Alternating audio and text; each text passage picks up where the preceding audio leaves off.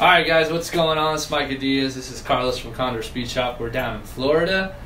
In which city? Oakland Park. Oakland Park, Florida. These guys make tons of parts for the BMW chassis from the 2002 all the way up to the E90s, right? That's right. Going all the way up to the E90 chassis. So we want to show you guys a couple of parts. These guys have been real supportive of uh, my racing program and, and my years behind the steering wheel. We want to put together a cool video, kind of give you guys some information on Carlos and what they got going over here on Condor Speed Shop.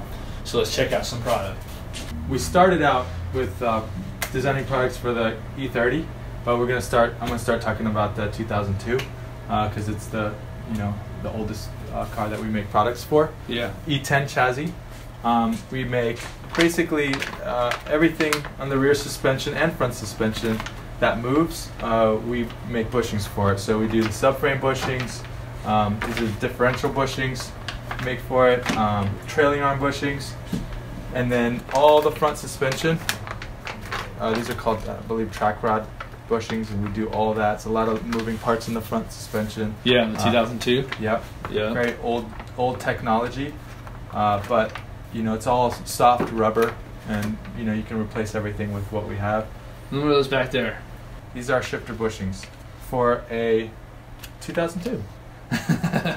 nice. so Um, you can get everything feeling better from Yeah. the shifter to the front end to the rear end, That's right. transmission, engine mounts, Uh-huh. everything on your 2002. Yep. We also make brake lines. I don't have a full kit here, but we do make a full line of brake lines and the clutch line for the 2002 also.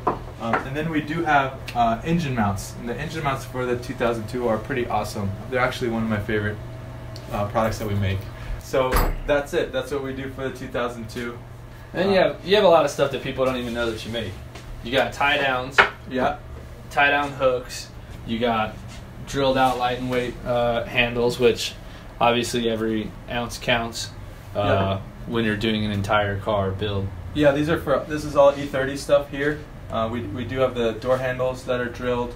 Those are awesome. I like these. It's not really so much about uh, the the weight, but more about the look. It just looks Yeah, real look- cool. It's like racy. They look You mean know? for sure. These come in super handy. You you bolt these onto the bottom of your sh- shocks, and uh, you can tie down your trailer, tie down your car onto your trailer very easily with these. We use them all the time whenever we go to the track.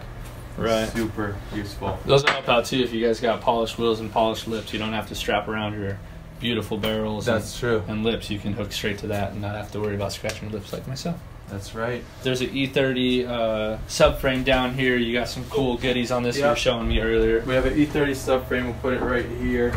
Um, we have the rear trailing arm bushings that we make. These are the regular rear trailing arm bushings, which are just it's a UHMW with an aluminum sleeve, and uh, it replaces all the rubber. It's great for uh, any type of spirited driving. Um, but a new product that we came out with recently is an adjustable rear trailing arm bushing. If you look, it has a hole off center. Um, and the reason for that is when you install it, here we have one installed, you can actually move the uh, the bushing and it and the the whole uh, trailing arm. This is the OEM bushing, but the whole trailing arm will will move and it will change your camber and toe.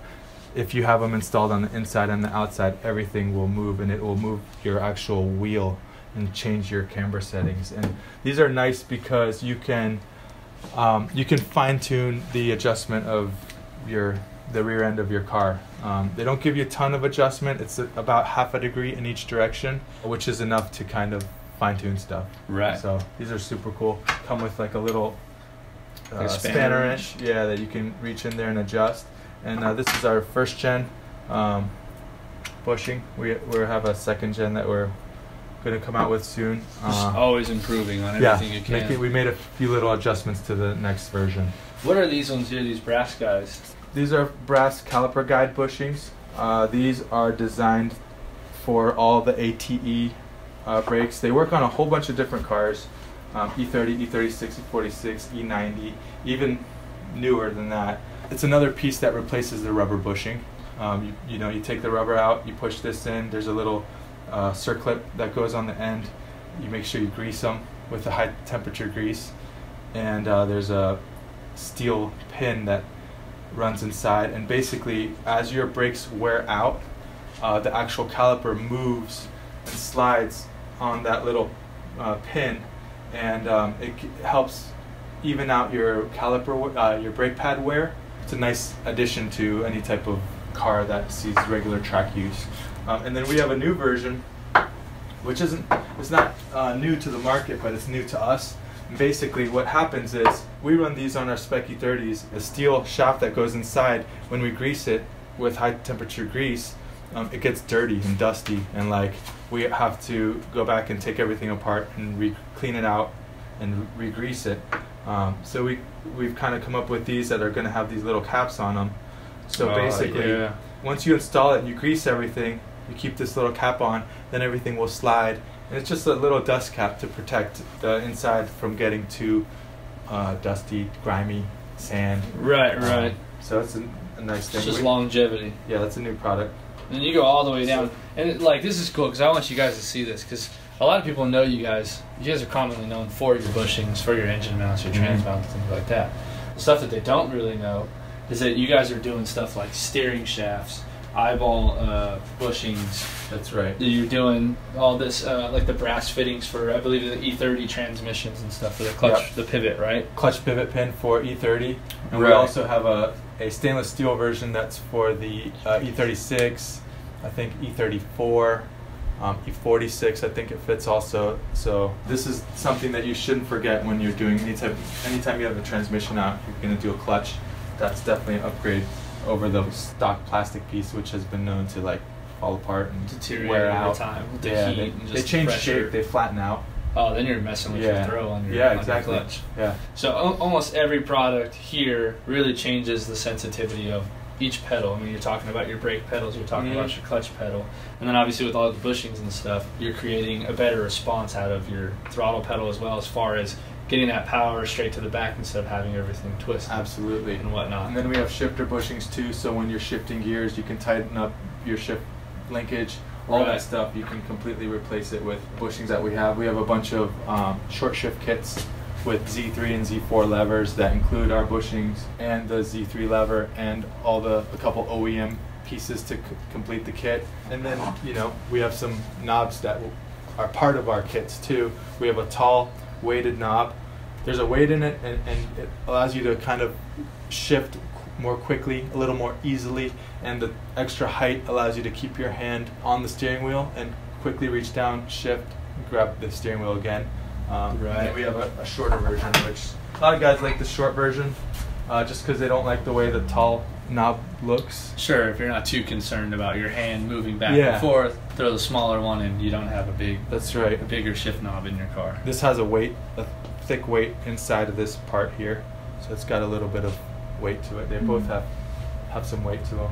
I had one in my E46, and it really does change the way that the shifter feels. Along with, so then you have your eyeball bushings, Yeah. your eyeball arms and your bushings. This is really cool. For the guys out there who are putting E46 arms into your E36 chassis, this would be the portion of the eyeball arm that bolts into the 36, but then it has the hex cut in here for the 46 arm. So that's really cool when you're doing like the conversions. Because back in the day, what we would do is we would still use the E36 uh, models, which is how the E36 arm is, and we would take this hex and shave it all the way down On the actual control arm. on the control arm and then fit it and in then there. fit it into that. Yeah. And what would happen is you really start losing a little bit more material and losing a little bit of strength there. It would still work. I never broke one. Yeah. The problem is too you can't get it perfectly round. So then No. you, when you press it in here, now you could develop a little bit of play. Exactly. And you get a little bit of like shimmy and exactly. clicking noises. So and then these narrow down also ground clearance. And then if you're doing like a V8 swap or Yeah. something, I I experienced a lot more clearance with Yeah. my headers. The headers are now on both sides of the car instead of just on the passenger Yeah. side of the vehicle. The stock lollipop comes out to like here. so much Um, bigger. Yeah. I you have- scrape them, you can hit them. Here you can you can kind of see. Oh like- yeah, there's like a th- they would kind of. Then you have the whole carrier that still sticks out. right. Uh, So that bushing presses into the stock one. Right. And that's offset too for you guys who want to dial in a little bit more caster and things like that in your car. But then you have the big bulky aluminum or steel, Steel. mount because Yeah. the E30 comes steel, the 36 comes steel, and then the Yeah. 46 comes, Comes aluminum. aluminum. So depending on which one you have, the 46 being the biggest, I believe, of all of them, big Yeah. bulky aluminum Yeah. uh, lollipop, um, you can go and cut down on some size and get yourself some better spacing with this, along with custom bushings to fit. We also have a more affordable version of the E46 uh, conversion control arm bushing, which is like this, and it fits into the stock carrier and has Right. a, a stainless steel insert that has a hex shape that you can uh, use to install E46 arms in your E30 or E36. That's a real popular piece. The thing about that piece is sometimes the stainless steel insert is actually only one size, and we actually cut a slot in it so it expands when you press it into an E46 arm. Right. But sometimes there's two different um, size hex on the E46 arms. There's a 21 millimeter and a 23 millimeter. And we have inserts for this one in 21 and 23 millimeter, but for the other one, it's just um, like a pinch it's just- yeah, so it only really fits the 21 mil, and if you're going to use it with the 23 mil, you're going to need to shave down the hex Mm. a little bit, so you're still going to get involved with fabrication. a still. little bit. But a lot of guys still like that option because it's more affordable. A lot more benefits to these, but the other one is definitely more affordable. Yeah. I recommend saving your pennies and getting some of these. Oh, and then you have the other one of these as well. For you guys who are running like the SLR kits on your 46, but you don't want to pay a bajillion dollars for adjustable lollipops that different companies sell, you can actually get the E46 housing here that they have, another eyeball Mm-hmm. arm, and insert the E36 bushing into it because the SLR angle kit is to the E36 spec. So I was able to press that into mine and then put my SLR arm in there without having to make any kind of modifications at all. It all bolted in and pressed Yeah. in, not a single problem at Which all. was super nice when you're so easy. upgrading from an E36 to E46, then you don't have to replace your whole angle kit. Nope, nope. You don't have to buy nothing new. You just get that stuff and then it bolts all right back in. This is another thing. I get asked this a lot on my Instagram about reinforcement plates, and a lot of people don't know this, but Condor, you guys make a lot of different reinforcement plates for all kinds of different parts of the chassis. do. And then when you go on your website, you can even purchase like oh, like organize the shopping based off of your chassis and see Yes. every single product that you guys make for that chassis Yeah. any reinforcement plate you're trying to find, I recommend looking at Condor first, just because the quality that you guys are uh, producing, and then obviously all the made in America stuff is a big deal. That's right. Everything we have well. is, is made here in the U.S.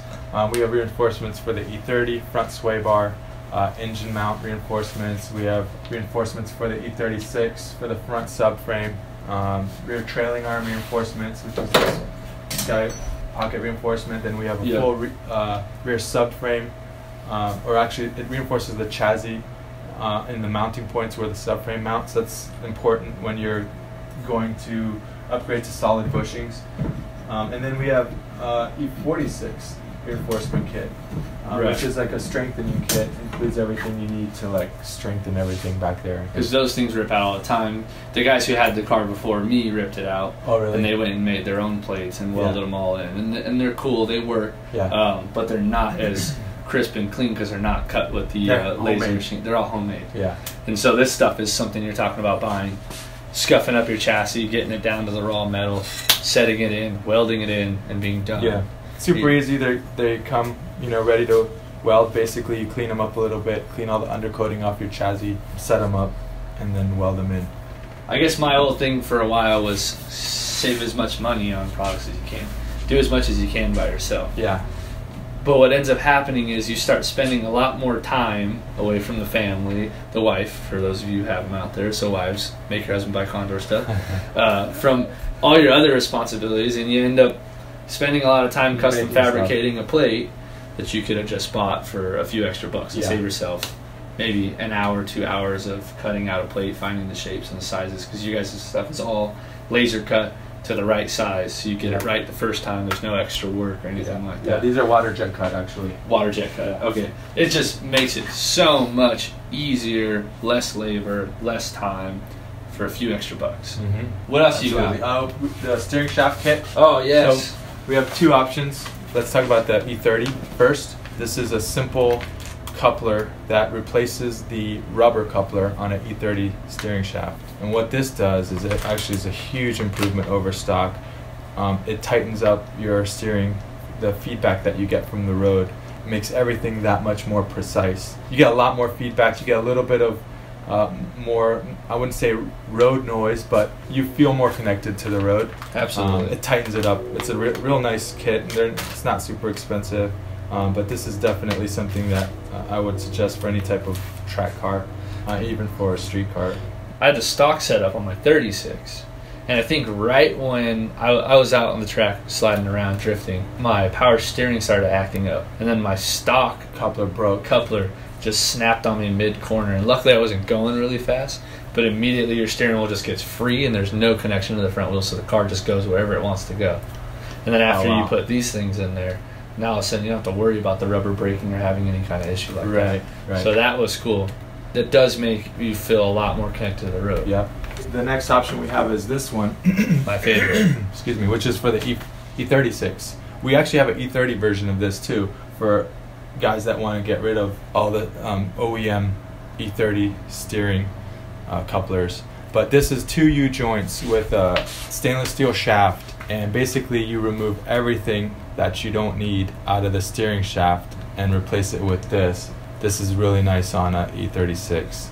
This also, if I might add, that when you're doing like the V8 swap and things like that, this gives you so much more clearance on the header side. Because with the stock motors, you don't have that problem because there's nothing on that side of it. So what this will do is really stiffen it up and take away any kind Yeah. of play or any kind of possibilities really of braking. So it slims it up a lot. And so when you start doing your, your V8 swaps and you start running into header clearance and things like that, this will come in handy. I mean, look at the size difference; it's ridiculous. Yeah, so this is so much slimmer. stock E36. Fitting that between the headers versus fitting this in there. There's a Mhm. lot of stuff going on Yeah, much of the car. much more slim. Right, and just it's just so much more strong. Uh, that's so that's redundant. So much more strong. I don't know how else to emphasize Yeah. it. Like this is so much better. Yeah, and the OEM system has one U joint up top and then has a rubber coupler right here, the Mhm. OEM one. So this rubber coupler is actually works as a U joint. This is actually like a, a UHMW version that we made. What we found is that the rubber version, because it needs to flex, you know, we added this U joint. So we have dual U joints, and now um, the steering is that much more free and can, you know, move a lot easier on its own. And it really, you know, tightens it up. It feels very Yeah. precise. We have a kit for the E46 also Right. that does the same thing. It's much more simple. It doesn't have the shaft, um, and it's just a single uh, U joint, but Right. it does the same thing. You you basically remove this whole section off of your E46, and you Mhm. put that in place, and it tightens everything up real nice. Yeah, that's what I did on my E46. Is I just have the one installed because the E46 has a what do you call this? Double D. Uh, yeah, it has a double D rod on it, and so you can connect it to there, and then this side could either go to your steering shaft, or you can take it off and flip it and put it onto your firewall, and then put the other side onto uh, this the the pinion gear on your rack as well. Mhm. And really, like the common thing you guys are really shooting for is really to make the driver more connected through the car to the road. Absolutely. So through everything, through your steering, through your suspension bushings, through your engine mounts, through your trans mounts, every single product almost that you offer is about tightening up the car, having that translation to the road, Yes. being able to feel Yeah. it. The more the more connected you are to the road, whether you're you know drifting Yeah. or you're racing on track or you're doing time attack, the more you can feel what the car feels, the faster you're going to be. The car will feel better, it'll handle better, and you'll be able to you know kind of react to whatever situation you're in because you can feel everything happening Right, instantly. Predictability creates comfort. Comfort creates faster lap times That's true. and and better reaction times and things like that. Like Yeah. you, you you know what your car's gonna do, and so this stuff makes your car more predictable, which essentially in the end can potentially make you a faster driver. Yeah, for sure, definitely. And I've I've personally experienced it. It does make the car feel so much better. The difference in going from like your stock bushings to this stuff. What would be a good thing for you to touch on, I would think, is why you guys aren't doing like necessarily a solid aluminum bushing for like your subframes versus like there's a lot of companies out there who do make solid aluminum bushings, but there's a reason why you guys don't. hmm The material that we use, UHMW, although it is a very hard material, it still gives a little bit. It still absorbs a little bit of vibration. It still absorbs a little bit of movement. And with solid aluminum bushings, when you have a subframe mounted to a solid aluminum bushing mounted to the chassis, and you're, you know, you have a bunch of horsepower, five, six hundred horsepower, going through the whole drivetrain and everything. You always need something to just kind of give a little bit. You need uh, something to kind of absorb a little bit of the impact between a clutch kick or um, a standing start in a race. You don't want to just have everything aluminum or steel, hard welded, hard mounted. It, you need to have a little bit of give in there. Right, saves you a lot in your powertrain. You meet the gap between ridiculously stiff with the metal stuff Yeah. and completely soft with the urethane stuff. Yes. Because urethane will also, correct me if I'm wrong, it deteriorates over time with oil and heat, right? It can. You know, certain types of urethane tend to have issues. The benefit of UHMW in any type of moving part and non-moving part is that it's well in the moving parts it's self-lubricating. So when you install it, you don't need to use any type of grease or oil. You Mm. just install it dry, and it just everything moves smoothly. Right. a, a benefit we have over polyurethane. Another benefit is polyurethane is made as like a two-part. I guess it starts out as two different parts of liquid that they pour together, and through a chemical reaction, they pour it into a mold. It gets hard, and then they pull the the bushings or mounts out of that mold, which is fine. But our stuff starts as a solid piece of UHMW that we take and we put it on a CNC mill or lathe, and we machine out, you know, the products, the shapes that we need, um, and they're all, you know, CNC machined to, you know, be which whatever we need them to be. So you're, you're about as close to solid, hard mount bushings as you can get without actually putting your chassis through the stress of an actual metal mount. Definitely, you could say that. because it makes Yeah. a real big difference. Like I said, the response, the feeling, and we kind of talked about it. This whole side of the shop here, on this side, is really about connecting the driver to the floor through the car, whether it be the shifter, the bushings, the steering, the brakes, the uh, uh, steering shafts, the subframe bushings. Everything here is about connecting you to the floor, which again, And by floor, you mean basically connecting the, the driver to the, the track, right? Right, to, right. To whatever surface he's on. whatever it is. It makes the car just tighter and way more predictable. And again, predictability creates comfort, comfort creates speed. Yeah. Comfort is super important too. What a lot of people don't know that you guys make is all the beauty products. Plexiglass windows, door cards. What else do you have over here? We do have uh, ABS door cards that we make for E30 coupes, and we have a four-door kit for E30 sedan. This is the coupe one. We have these little pull tabs. They get screwed in through the back. That's clean that it mounts from the back though, because Yeah, like screws go. You Yeah. screw them through the back, and then you don't have to worry about You that when you install it. right. Um, these all come with uh, pre-drilled rivet holes, or you can use riv nuts. It has a half cut for if you have roll-up windows. You can cut this out, and it's in the right spot for a window crank. And then this is the cutout for this little piece here. So you can buy it without that, right? And it comes like this. This is how you get it. And if you want to install that, you just cut this out, and then you put your two screws in there, and then that kit comes with screws. So it's a pull strap that mounts to the OEM uh, door handle location. yeah, that's clean. Um, and then this is big enough so you can actually fit the trim ring, the beauty ring on Right, right. On the stock handles. We're actually working on some E36 door cards and E36 inner rear panels, so we'll have those out soon. Then you have you have dash like some dash delete stuff. Mm-hmm. This is an E30 piece, sandblasted, ready for paint or powder coating. All you need to do is bend the tabs, and basically this replaces the HVAC panel on an E30. We're planning on doing more stuff like this for the E36.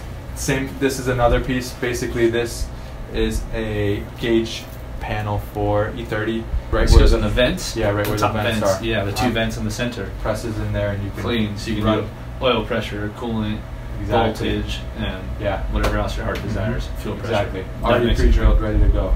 And that's one of the things we were talking about is that you really set yourself apart from a lot of drivers when you start getting into the beauty side of the car. There's a lot of guys who will go out there and race and they'll race and they'll race and they'll beat their cars up and then they never really come back to like the pretty side of it. Right. And really like when you guys are out looking for sponsors and different things like that, they're gonna really be looking at the quality of your build, the cleanliness of your build, and then obviously like who you are as a person and, and if they want to run their brand with you. But the big thing is the beauty side of it. Because there's a lot of guys out there who can drive really, really good, but they're just in like beat up cars. Mm-hmm. And maybe it's a financial issue, maybe it's something, you know, everyone has a different story, but there are guys out there who can afford Yeah. to build nice cars and they just don't do it. And so when you do put a little bit of extra effort into the door cards, into the nice plexiglass window, steering wheels, hubs, all this stuff, it really starts to separate you from the rest of the field. It makes a big difference. Yeah, it's super important. It's like some, definitely, like you said, it's something that we look at.